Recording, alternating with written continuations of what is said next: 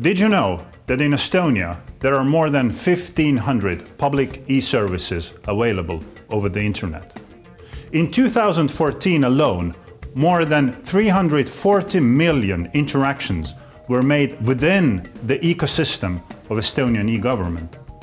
That is about a million a day. The question is, what is its impact? What is its economic, political and social impact? If you're interested in not only how the e-government works and what it is, but how to assess and measure the impact of public e-services, this class is specifically tailored for your needs. In 16 weeks, you will learn how new technologies evolve and diffuse in the society.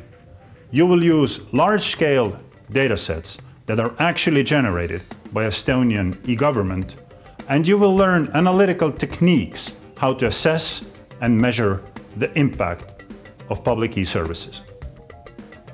We will run online workshops, visit key public institutions that are responsible for maintaining and developing Estonian public e-services.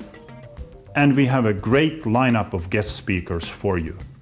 People who are practitioners and visionaries behind the Estonian e-government.